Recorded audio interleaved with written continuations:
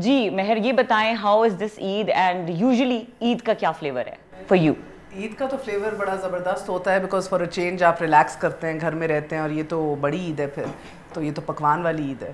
तो ज़बरदस्त खाने पकते हैं और it's it's a good time I mean I think any time आपने सुना ना भी जब ये बता रही थी घर घर से निकलते हुए कितनी बिज़ी थी? जी मैं पहले उस को बच्चा आ गया को फिर वो पाकिस्तान के न्यूक्लियर प्रोग्राम को क्या करना उसकी कॉल आ गई फिर वो इंडिया के ताल्लुकात की बात आ एक गई। फिर जो हाँ। बाइडन कह रहा है मैंने बात करनी है टाइम नहीं दे आप किस तरह डाउन साफ़ नहीं एकदम से हलीम के अंदर मसाला ज़्यादा पड़ गया।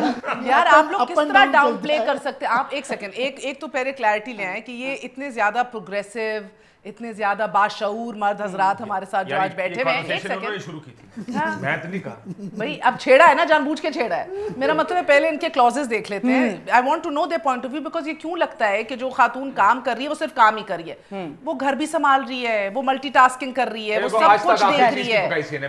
उसकी नहीं पकाने की बात नहीं है पकाने time आखिरी दफ़ा झाड़ू कब लगाया था? आखिरी दफ़ा कुछ हलीम खाया था लास्ट टाइम बहुत ज़बरदस्त Thank था। you very much. और मैं पैक करवा के लेके गया था। अल्लाह की मैंने इनकी सुपरविजन पे अल्लाह कसम खा के कह रहे हैं। किया अच्छा अब तुम्हारा ज़ाहिर है ज़रूरी एक नहीं सेकंड है एक कि सेकंड हलीम भी पैदा की की है यार मेरी दें? बाहर ये जाके काम राहुल कर रहा भाई होता की है, फिर ही तुमने देखा है, तब से पीछे होके बैठे हुए ही।